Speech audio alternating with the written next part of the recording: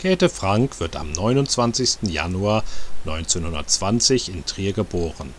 Ihre Eltern sind Olga und Max Heilbronner. Die Familie lebt zuerst in der Simeonstraße, später in diesem schönen Haus in der Johannesstraße 10. Heute lebt Käthe Frank in einem Altersheim in Kiryat Motzkin in der Nähe von Haifa in Israel. Bei einem Besuch in Israel entstand folgendes Interview. Mein, meine Mutter, das war eine geborene Scheuer. Mhm. Und die waren von, von 1700 in Trier ansässig. In der Nähe vom Simeonstift haben die gewohnt. Mhm. Also mitten in der Stadt. Mitten in der Stadt war es drin. Ja. Was war denn Ihr Vater? Handelsvertreter, Ah ja. ja. Also hatte selber jetzt kein Geschäft? Nein, nee. nein, nein. Aber er ist in viele Geschäfte reingekommen, die ich dadurch kannte. Genau. Ja. Nein, das. Äh, ich war gerne in Trier. Und es war auch für die jüdische Jugend war viel, war, ma- wie, wie soll ich sagen, äh, Jugendbünde und so, alles mögliche. Man hat Ausflüge unternommen und alles mögliche. Ah ja. Sie waren also auch bei der jüdischen Jugend, Ja. haben mitgemacht. Ja, Also so richtig jugendbewegt äh, Gruppen waren das, aus der Jugendbewegung ja das waren hervorgegangen. so, ich weiß, äh, vielleicht zwölf Jahre, 14 Jahre, bis 15 war, glaube ich, war ich drin. Nachher bin ich nach Köln gegangen, geschickt worden, Haushaltsschule lernen. Aha. Und ich weiß, dass ich alles verkehrt gemacht habe.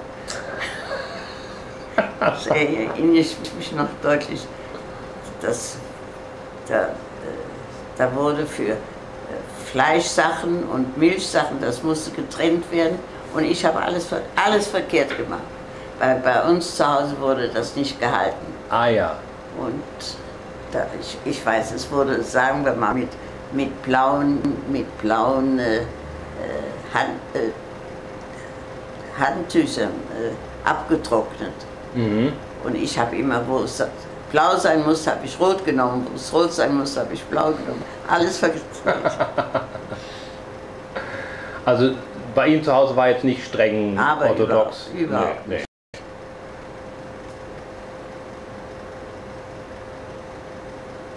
Weiß, zu irgendwelchen Festen bin ich als Kind aus Nichtstreckenhaus eingeladen worden. Äh, Da wurden Kinder eingeladen, wo nichts, nichts gehalten wurde zu Hause, Mhm. bei dem Rabbiner. Ah ja. Und, das, und ich habe immer Blödsinn gemacht. Haben Sie also, war das der Herr Altmann noch? Ja. Der Rabbiner Altmann. Ja. Den haben Sie also auch erlebt. Ja, Und wie, welche Erinnerungen haben Sie an ihn? Wie, was war er für so ein Ma Mann? sehr, wie, wie soll ich sagen, sehr respekteinflößend. Aha. aber, aber sehr nett. Ich weiß, äh, an, an Ostern, so wie Pesach heißt das, äh, musste, musste, musste man sich Hände waschen eine Schüssel immer ihm ihm hinhalten mit, was, mit Wasser und ich habe jedes Mal das Wasser umgeschüttet. Nein.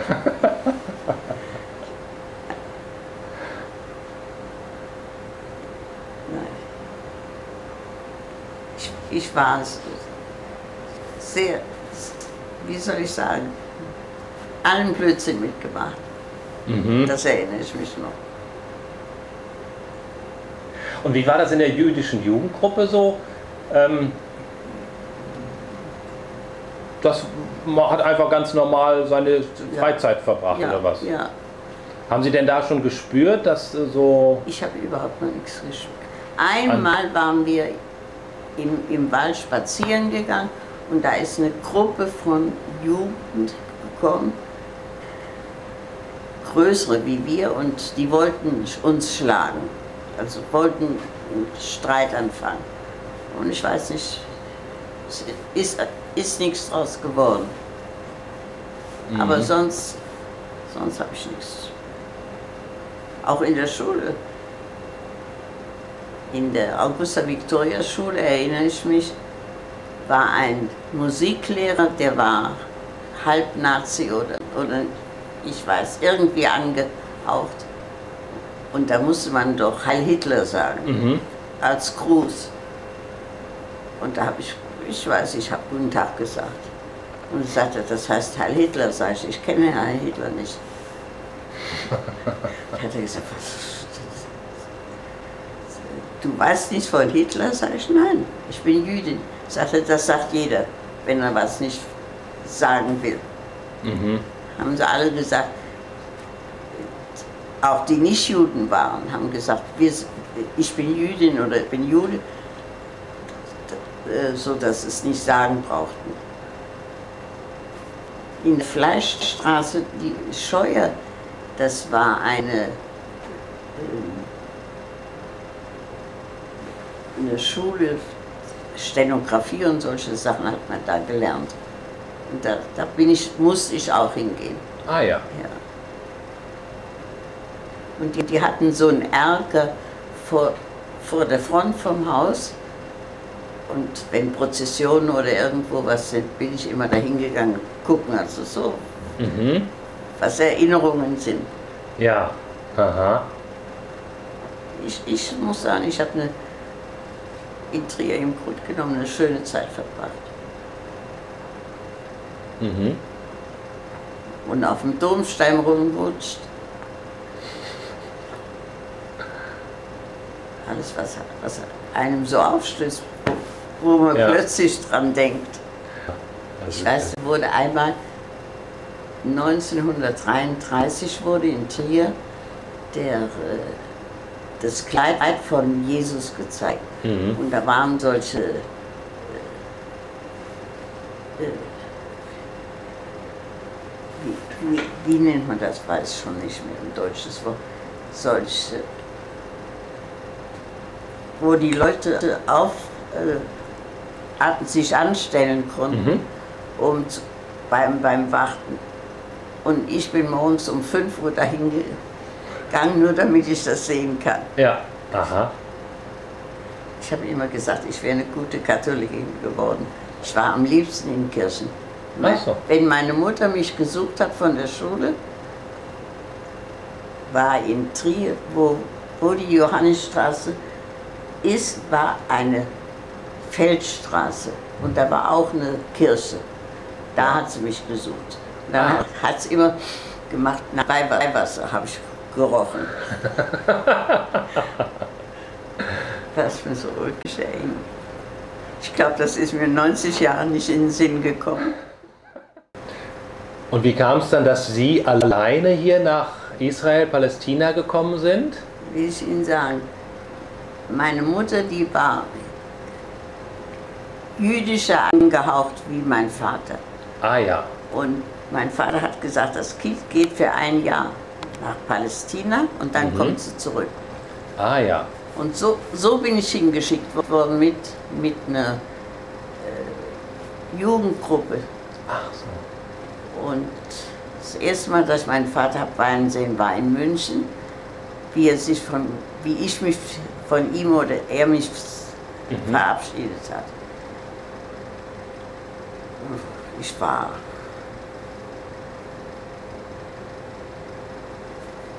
Ich habe nicht gewusst, wo, wo ich da hinkomme. Keine Ahnung gehabt.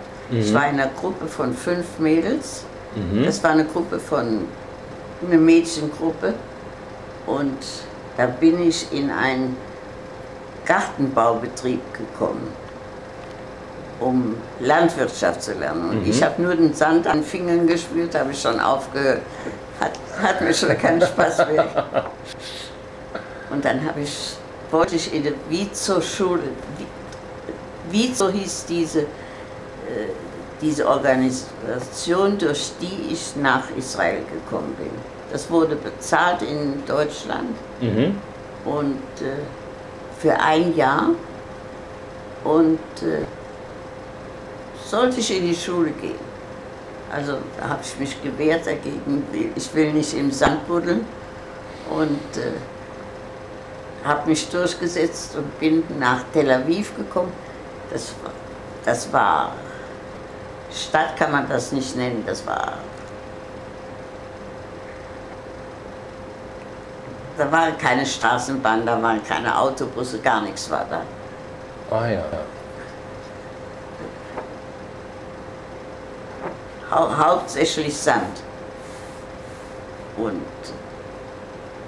da bin ich dahin gekommen, in eine wie zur Schule, da sollte Hauswirtschaft gelernt werden, gelehrt werden.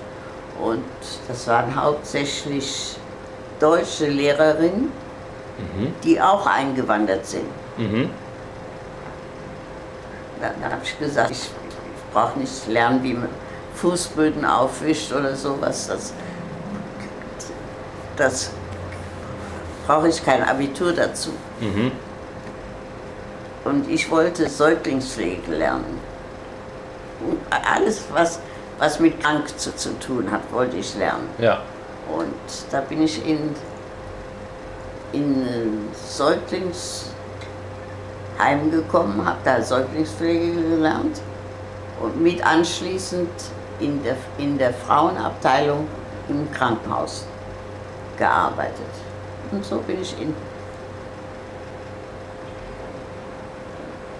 in, das, in das reingerutscht, äh, was mit äh, Kranksein und, und so weiter. Und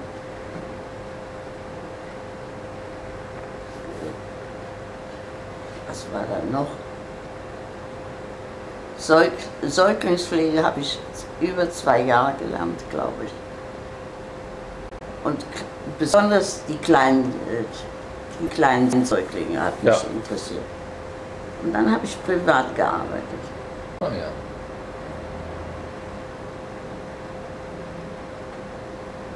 Aber das war alles so, wie soll ich sagen, einer hat einen anderen empfohlen und das äh, nichts Organisiertes war das. Mhm. Ich bekam Adressen dann von, von der Schule, wo ich gelernt habe. Und so, so hat man von- Mund zu Mund ist das, hat man die Arbeit gekriegt. Nichts Organisiertes. Mhm. Und in dem Beruf haben Sie dann hier jahrelang gearbeitet? Ja. Ja. Hier wurde das, äh, wie, wie von dem Palästina Israel wurde, wurde das alles organisierte. Ja. Da,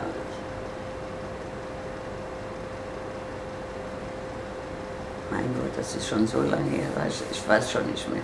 Das, das war 47, 1947, 48. Ja. Da wurde der Staat gegründet. Mhm. Das, das war alles se- sehr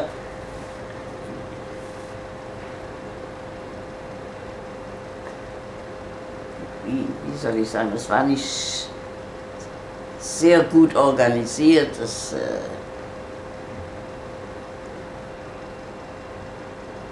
Also die war die Zeit, die Zeit also am Anfang hier in Israel auch sehr schwierig für Sie. kann man wohl sagen. Ja. Es war ungewohnt, alles, es war alles ungewohnt. Mhm. Ordnung gab es nicht, nix. Gab nichts hier. Nicht so, wie Sie das von zu Hause dann gewohnt waren. Nee. Nur gut. So ist es, wenn was neu anfängt, scheinbar. Ja. Und unter welchen Umständen. Ja, ja, das waren ja sehr schwierige Ja, Umstände. Ja. Genau. Und mein Vater wollte eben, ich soll nur ein Jahr in Israel bleiben. Und meine Mutter wollte, ich solle, solle länger bleiben. Die hat dem Frieden nicht getraut. Ja. Und äh, da ist sie einmal nach Luxemburg gefahren, von Trier, das war ein Katzensprung. Und äh, wollte Bekannten, die aus Israel nach Luxemburg gekommen sind, für mich was mitgeben. Mhm. Und auf dem Rückweg mit der Bahn, in der Bahn von Luxemburg nach Trier, hat sie scheinbar einen Schlaganfall bekommen und ist durchgefahren bis Koblenz. Oh Und in Koblenz hat man sie gefunden und hat sie in ein Sanatorium oder ein Krankenhaus, ich weiß nicht was war. Und da ist sie ge gewesen, geblieben, wollen wir sagen, zur Pflege als, als Kranke. Und von da aus ist sie 1940, glaube ich, deportiert worden nach Auschwitz. Und meine Schwester, die war acht Jahre älter als ich, die wurde von meiner Mutter nach Holland geschickt, weil die, meine Mutter hatte eine Schwester in Amsterdam, die dort gewohnt haben und zwei Kinder hatten und auch noch eine, eine Oma. Und die, die sollte die pflegen, diese Oma. Das hat sie auch getan, die, meine Schwester, und ist mit der zusammen deportiert worden, von einem Lager aus, Mhm. auch nach Auschwitz. Mhm. Das, das habe ich durchs Rote Kreuz erfahren. Ah ja, wann haben Sie das erfahren? Das muss gewesen sein. Mi- Am Ende, Ende 1945 sowas. Ah ja. Ich habe den, ich hab den, die Nachricht noch zu Hause. Zu Hause, das ist, ist hier zwischen all meinen Papieren. Mhm.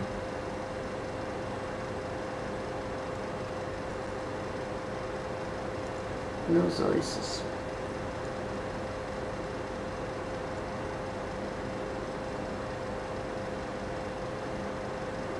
Ja, das war sicherlich eine schreckliche Nachricht für Sie.